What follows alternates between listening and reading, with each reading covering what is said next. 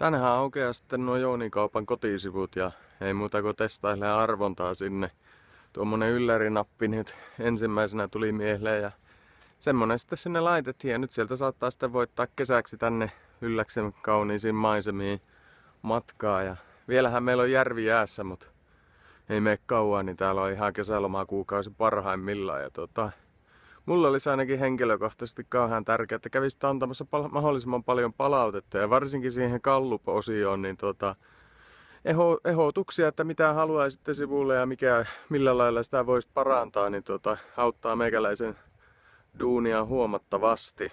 Mie en ole ennen näitä sivuja kauheasti rämplännyt, niin tota, joutunut vähän tässä harjoittelemaan nyt sitäkin puolta, mutta tota, kiitoksia kauheasti, että tulitta vilkassen näitä meidän sivuja ja tehdään niistä hyvät.